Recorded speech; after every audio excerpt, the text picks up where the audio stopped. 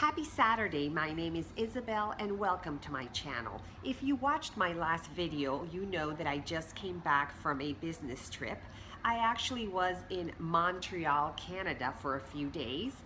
On my um, last day before I caught my flight, I went ahead and of course stopped by the Louis Vuitton store where I picked up a couple of small items, nothing big. It was very, very nice. I was uh, taken care of by Michael, and here is his information. Very, very nice person, uh, a sweetheart to work with, took all the time in the world just talking to me. We talked about the different stores in Florida, etc. I really, really had a nice time. So let's go ahead and get started. Here's my receipt for the first two little boxes that I'm gonna show you. And this is something that I was hoping that I was gonna be able to get, but I wasn't sure if I was gonna be able to do it. So let's just open this up. Inside we have the little dust pouch, and you may be guessing already what I have in here.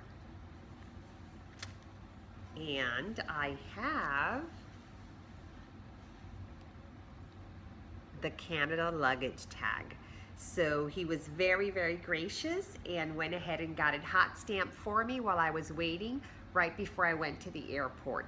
So I'm very excited. I have my first Canada luggage tag. So that is the first item that I purchased. My second item also came in a little box, drawer box. It's upside down.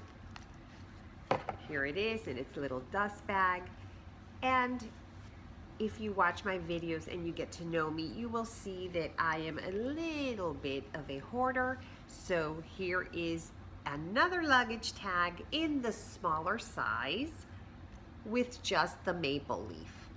And she is really, really cute. So I went ahead and got two luggage tags. Very, very excited. These are my first luggage tags with a country name or a city name on them. I have other luggage tags with my initials, but I don't have any Canada, I didn't have any Canada ones, I didn't have a Hawaii one, etc.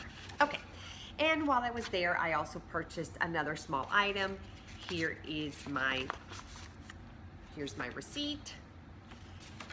And it came in this big box it's a small item, but he gave me a really big box, so I had to put this in my carry-on.